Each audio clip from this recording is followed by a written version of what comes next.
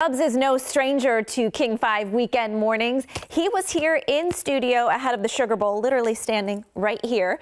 The UW's live mascot is proving to be a popular and quite memorable part of this year's historic football season. Dubs literally sits down with me for this exclusive King 5 interview. Fans love Huskies football, and I love Dubs. Dubs is my favorite. He'll be in Houston for the national title game, but long before this season, Dubs started scoring big in the hearts of Huskies fans. In 2019, from the moment the University of Washington let this dog out, his training team knew he was special.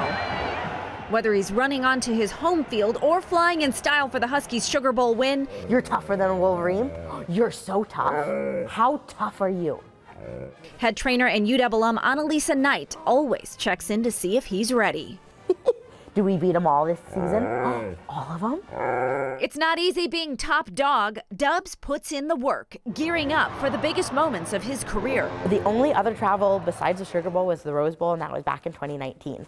Um, that and he wasn't even a year old yet. He's a puppy. He was just a pup. Yeah, he turned a year old like the day or two that we got back, um, and he handled that like a champ, so we knew going into this one, he's a seasoned pro. He cleans up nicely, too. It takes three hours to brush out and blow dry his majestic mane. From nose to tail, his fluffy coat is sure to catch your eye.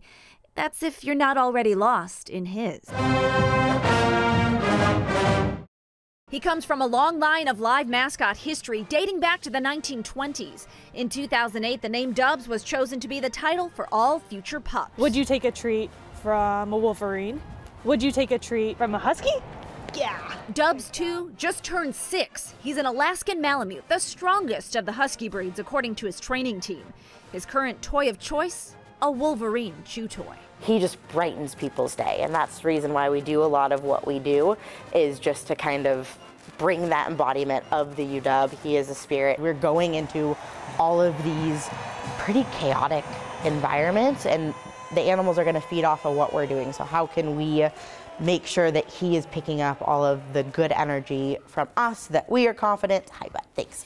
Um, and so that. Helping Knight are seven skilled student trainers, each one learning more every time they step out with Dubs. About 90 people applied to take care of Dubs. His home is with the Knutson family, proud Husky alums. And as an alum herself, Annalisa Knight is having an extra special season alongside Dubs. Fitting that uh, my daughter here uh, every game that I've been to with her in my belly, uh, we have pulled out a win. And then I was born the year of the 91 championship. So we figured maybe it's a little good omen of the.